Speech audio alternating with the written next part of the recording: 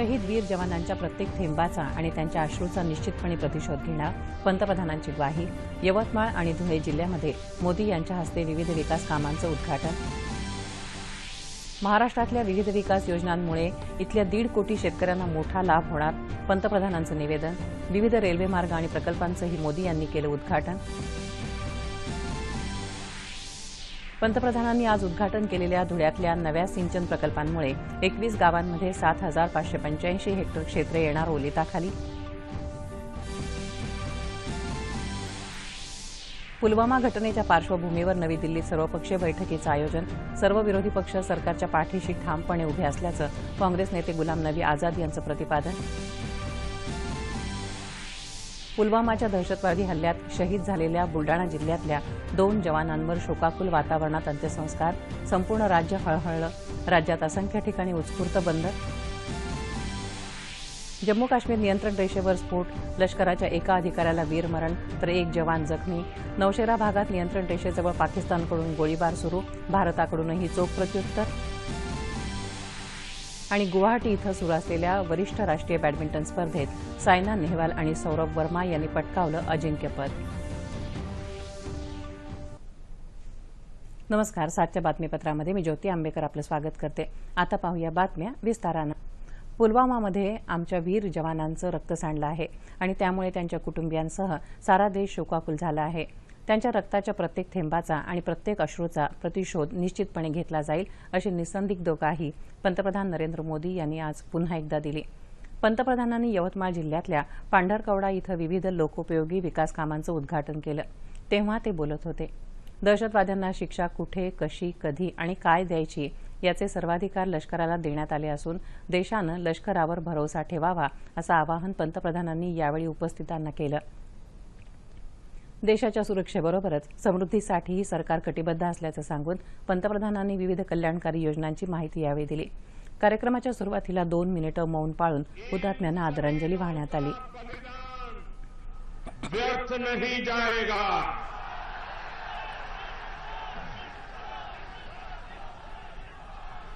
आतंकी संगठनों ने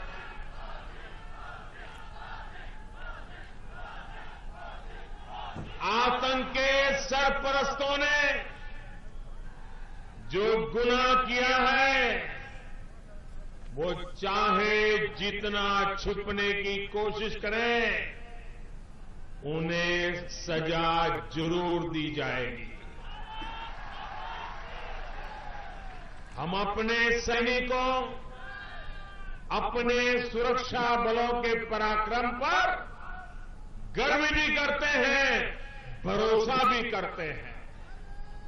मैं देश को फिर भरोसा दिलाता हूँ। धैर्य रखें अपने जवानों पर भरोसा रखिए। पुलवामा के गुनहगारों को सजा कैसे दी जाएगी? कहाँ दी जाएगी? कब दी जाएगी? कौन देगा? किस प्रकार की सजा देगा? ये सब ये हमारे जवान तय करेंगे।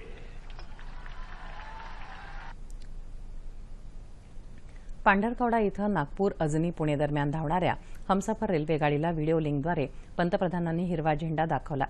नांदेड इथल्या एकलव्य आदर्श निवासी शाळेचं उद्घाटनही त्यांनी केलं.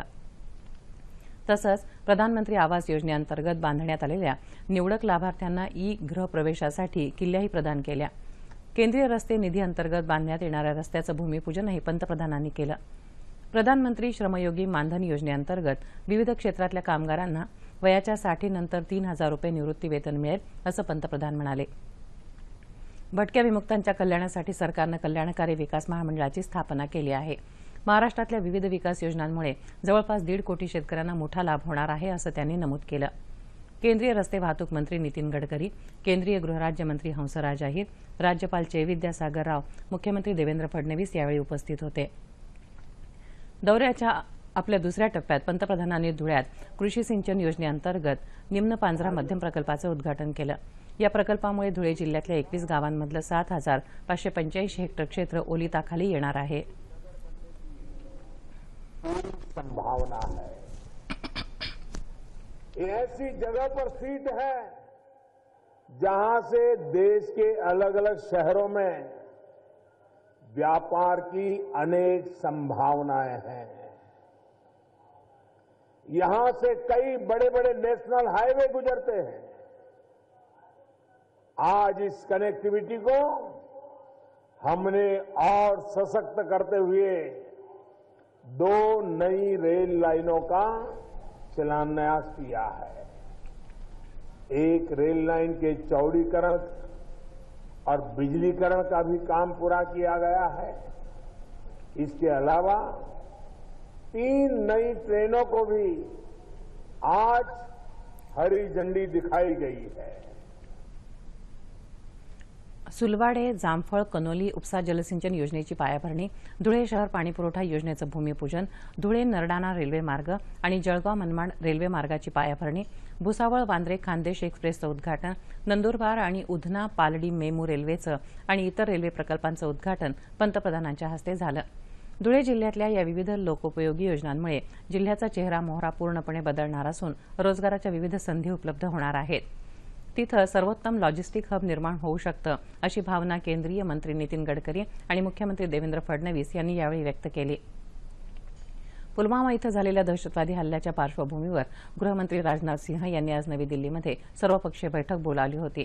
या बैठकीला संसदीय कामकाज मंत्री नरेंद्र सिंह तोमर राष्ट्रवादीचे शरद पवार काँग्रेसचे गुलाम नबी आझाद ज्योतिरादित्य शिंदे आनंद शर्मा सीपीआयचे डी राजा सीपीएमचे टी के रंगराजन नॅशनल कॉन्फरन्सचे फारुख अब्दुल्ला लोक जनशक्तीचे रामविलास पासवान बहुजन समाज पक्षाचे सतीशचंद्र मिश्र राजदचे जे पी यादव तृणमूल काँग्रेसचे सुदीप बंडोपाध्याय आणि डेरेक ब्रायन अण्णा द्रमुकचे एम कृष्णन शिवसेनेचे संजय राऊत आम आदमी पक्षाचे संजय सिंग तेलंगण राष्ट्र समितीचे जितेंद्र रेड्डी राम मोहन नायडू यांच्यासह प्रेमचंदू माजरा उपेंद्र कुशवाह तसंच गृहसचिव राजीव गौबा केंद्रीय राखीव पोलीस दलाचे अतिरिक्त महासंचालक उपस्थित होते. पुलवामा इथं झालेला दहशतवादी हल्ला आणि त्यासंदर्भात सरकारनं आतापर्यंत उचललेल्या पावलांची माहिती गृहमंत्र्यांनी या बैठकीत दिली. आम्ही सर्व विरोधी पक्ष सरकारसोबत ठामपणे उभे आहोत असं ज्येष्ठ काँग्रेस नेते गुलाम नबी आझाद यांनी बैठकीनंतर बोलताना स्पष्ट केलं. हम सरकार के साथ खड़े रहेंगे आतंकवाद को खत्म करने के लिए। हमारा पूरा समर्थन रहेगा। पुलवामा इथं झालेल्या दहशतवादी हल्ल्याच्या निषेधाचा ठराव या बैठकीत पारित करण्यात आला असून जम्मू काश्मीरमधल्या दहशतवाद्यांचा मुकाबला करण्यासाठी सुरक्षा दलांना पूर्ण अधिकार देण्यात आल्याचं संसदीय कामकाज मंत्री नरेंद्र सिंह तोमर यांनी बैठकीनंतर प्रसारमाध्यमांशी बोलताना सांगितलं. चर्चा भी की. और सब देश के और सरकार के साथ खड़े हैं। उन्होंने विश्वास दिलाया कि हमारे सुरक्षा बलों के हौसले बुलंद हैं और हम जम्मू कश्मीर को आतंकवाद से मुक्ति दिलाने के लिए कृत संकल्पित हैं। भारत सरकार ने आतंकवाद और उसे समर्थन वाली देने वाली ताकतों से सख्ती से निपटने के लिए सुरक्षा बलों को फ्री हैंड दिया है। हमारी नीति आतंकवाद के खिलाफ ज़ीरो टॉलरेंस की रही है। यह कायराना हमला आतंकवादियों की इसी हताशा को दर्शाता है। दरम्यान या नृशंस हल्ल्यामध्ये वीरमरण आलेल्या जवानांचे पार्थिव काल रात्री भारतीय वायुदलाच्या विशेष विमानानं नवी दिल्लीमध्ये आणण्यात आले. पंतप्रधान नरेंद्र मोदी केंद्रीय गृहमंत्री राजनाथ सिंह अनेक सर्वपक्षीय नेते आणि तिन्ही सेनादलाचे प्रमुख यांनी यावेळी हुतात्म्यांना भावपूर्ण श्रद्धांजली वाहिली. यानंतर सर्व शहीद जवानांचे पार्थिव अंत्यसंस्कारासाठी त्यांच्या मूळ गावी पाठवण्यात येत आहेत. भारताच्या स्वसंरक्षणाच्या अधिकारांचं समर्थन करत असून दहशतवादाशी लढण्यासाठी भारताला सर्व प्रकारचं सहाय्य करण्यास तयार असल्याचं अमेरिकेनं म्हटलं आहे. अमेरिकेचे राष्ट्रीय सुरक्षा सल्लागार जॉन बॉल्टन यांनी भारताचे राष्ट्रीय सुरक्षा सल्लागार अजित डोवाल यांच्याशी दूरध्वनीवरून संवाद साधला. जम्मू काश्मीरमधल्या पुलवामा इथं दहशतवाद्यांच्या हल्ल्यामध्ये हुतात्मा झालेल्या बुलडाणा जिल्ह्यातल्या दोन वीर जवानांवर आज अंत्यसंस्कार करण्यात आले.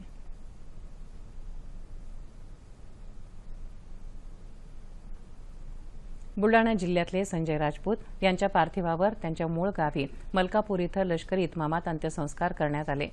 तर या हल्ल्यामध्ये हौतात्म्य पत्करलेले दुसरे वीर जवान नितीन राठोड यांच्या पार्थिवावर लोणार तालुक्यातल्या चोरपांगरा इथं लष्करी इतमामात अंत्यसंस्कार झाले. या हुतात्म्यांना निरोप देण्यासाठी मोठा जनसागर लोटला होता.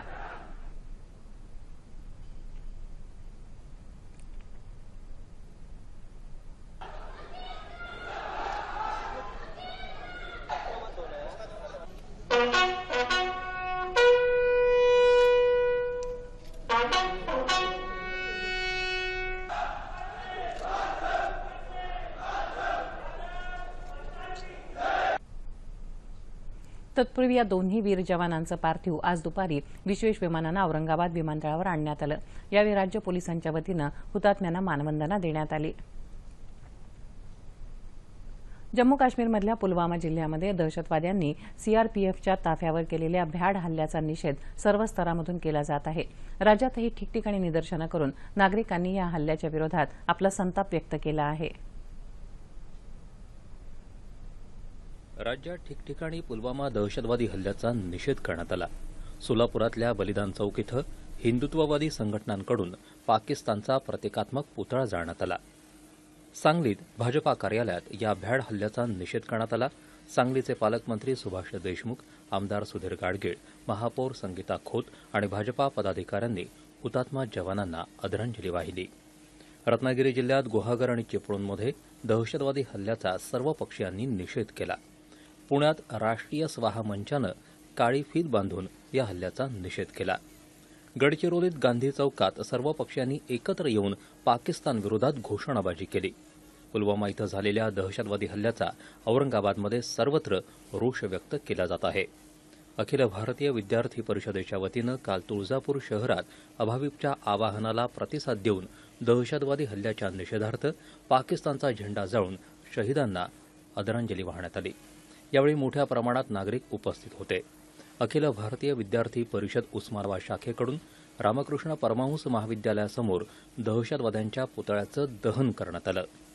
नाशिक मुस्लिम वेल्फेअर कमिटीनं या हल्ल्याचा जाहीर निषेध नोंदवला आहे.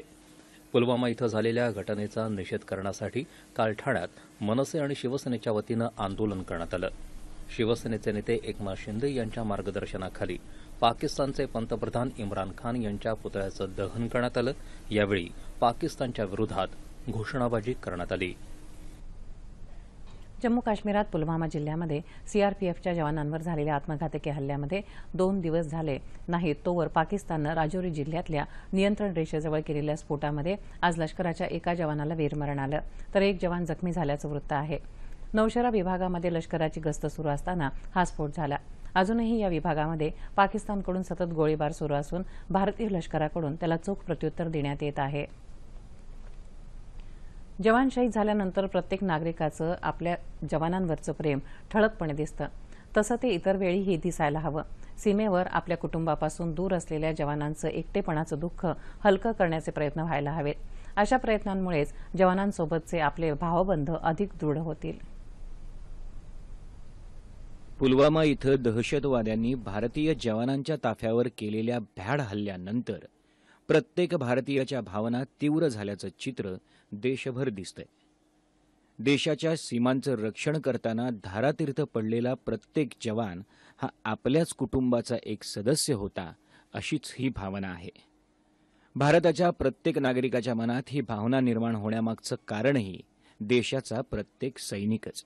देशाची म्हणजेच तुमच्या आमच्यासारख्या सामान्य नागरिकांची इथल्या व्यवस्थेची सुरक्षा करण्यासाठी सैनिक डोळ्यात तेल घालून काम करत असतात.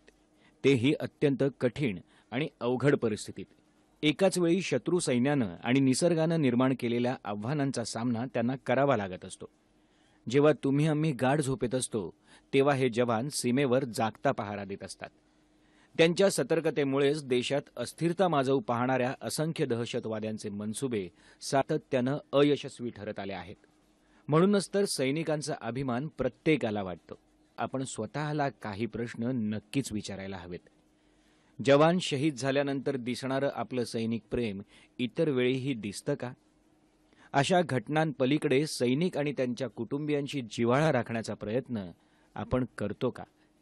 सीमेवर आपल्या कुटुंबापासून दूर असलेल्या जवानाच्या एकटेपणाचं दुःख हलकं करण्यासाठी आपण खरंच झटतो का? अर्थात या दृष्टीनंही संवेदनशीलपणे काम करणाऱ्या अनेक व्यक्ती आणि संस्था देशभरात आहेत. ज्या सैनिकांचं सीमेवरचं खडतर जगणं शक्य त्या प्रमाणात सुखकर करण्याचा प्रयत्न करत असतात. मात्र अशा कामांची केवळ बेटा आहेत. ती विस्तारायला हवीत. अशा कामांमधला तुमचा आमचा सहभाग वाढायला हवा. असं घडलं तर ज्या जवानांप्रती आपल्याला आदर आहे त्या जवानांसोबतच आपला भावबंधही निर्माण होईल. ज्योतिषशास्त्रामुळे या देशातील माणूस बिघडत चालला असून त्या आधारे फक्त लोकांची फसवणूक केली जात आहे. अंधश्रद्धा निर्मूलन समितीचे विज्ञानाच्या आधारे ज्योतिषाचा बुरखा फाडला जात आहे. नागरिकांनी अशा भोंदूबाबा किंवा ज्योतिषी यांच्यापासून सावध राहावं असं आवाहन अंधश्रद्धा निर्मूलन समितीचे संघटक श्याम मानव यांनी केलं. नशीब ज्योतिष किती खरं किती खोटं या विषयावर ते बोलत होते. पुणे जिल्ह्यातील शिरूर इथं शिवजयंतीनिमित्त आयोजित धनराज नहार स्मृती व्याख्यानमालेचं आयोजन करण्यात आलं होतं. व्याख्यानमालेतलं हे बावीसावं वर्ष असून ती एकोणीस फेब्रुवारीपर्यंत चालणार आहे.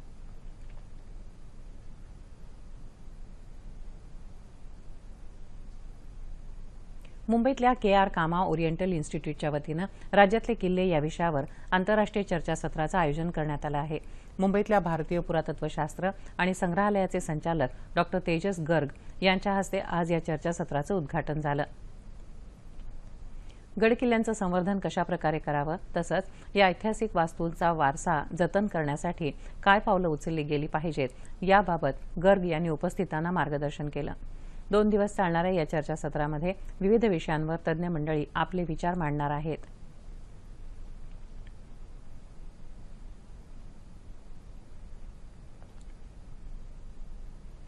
माहिती तंत्रज्ञानाचा प्रभावी वापर करून नाविन्यपूर्ण उपक्रम राबवल्याबद्दल महाराष्ट्र पोलिसांच्या महाराष्ट्र सायबर प्रकल्पाला माहिती तंत्रज्ञान क्षेत्रातील राष्ट्रीय स्तरावरचे दोन पुरस्कार प्रदान करण्यात आले. कोची इथं झालेल्या परिषदेमध्ये महाराष्ट्र सायबर प्रकल्पाला हे पुरस्कार प्रदान करण्यात आले. या पुरस्कारांमध्ये डिजिटल सिक्युरिटी विभागातील मानाचा द प्रेसिडेंट्स अवॉर्ड्सचा समावेश आहे. तसंच माहिती तंत्रज्ञानाचा प्रभावी वापर करण्यासाठीही महाराष्ट्राला पुरस्कार मिळाला आहे.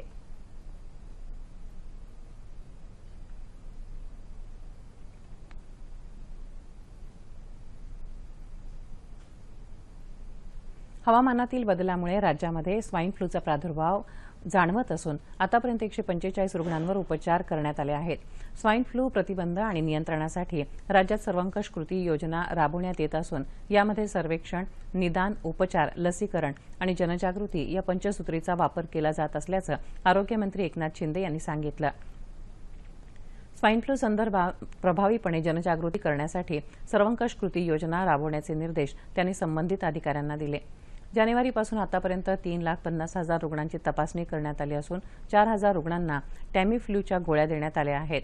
राज्यात आतापर्यंत स्वाईन फ्लूमुळे सतरा रुग्णांचा मृत्यू झाला आहे. गुवाहाटी इथं सुरू असलेल्या वरिष्ठ राष्ट्रीय बॅडमिंटन स्पर्धेचं अजिंक्यपद सायना नेहवाल आणि सौरभ वर्मा यांनी पटकावलं आहे. सायना नेहवाल आणि पी व्ही सिंधू या दिग्गज खेळाडूंमध्ये विजेतेपदासाठी अंतिम लढत झाली. या लढतीत सायनानं सिंधूचा एकवीस अठरा एकवीस पंधरा असा सरळ गेममध्ये पराभव केला. सायनानं चौथ्यांदा ही स्पर्धा जिंकली आहे. गेल्या वर्षी नागपूरमध्ये झालेल्या स्पर्धेतही अंतिम सामन्यात सायनानं सिंधूचा पराभव केला होता. सिंधूनं आतापर्यंत दोनदा ही स्पर्धा जिंकली आहे. पुरुष गटामध्ये झालेल्या अंतिम सामन्यामध्ये सौरभनं लक्ष सेनचा एकवीस अठरा एकवीस तेरा असा सरळ गेममध्ये पराभव केला. या स्पर्धेचं सौरभचं हे तिसरं विजेतेपद आहे. प्रणव जेरी चोप्रा आणि चिराग शेट्टी या जोडीनं पुरुष दुहेरीमध्ये सामना जिंकला. या जोडीनं एम आर अर्जुन आणि श्लोक रामचंद्रन या जोडीचा एकवीस तेरा एकवीस वीस असा पराभव केला. हवामान. राज्यात गेल्या चोवीस तासामध्ये विदर्भात बऱ्याच ठिकाणी पाऊस पडला तर राज्यात उर्वरित भागामध्ये हवामान कोरडं होतं. मध्य महाराष्ट्राच्या काही भागात किमान तापमानामध्ये सरासरीच्या तुलनेत लक्षणीय घट झाली तर उर्वरित भागामध्ये किंचित घट झाली. विदर्भामध्ये आज तुरळक ठिकाणी पाऊस पडण्याची शक्यता हवामान विभागानं वर्तवली आहे. तर येत्या चोवीस तासात संपूर्ण राज्यातलं हवामान कोरडं राहील असा अंदाज हवामान विभागानं वर्तवला आहे. तापमान अंश सेल्सिअसमध्ये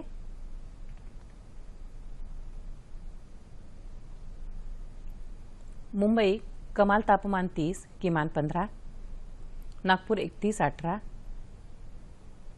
पुणे तेहतीस दहा औरंगाबाद एकतीस तेरा नाशिक तीस नऊ कोल्हापूर तेहतीस अठरा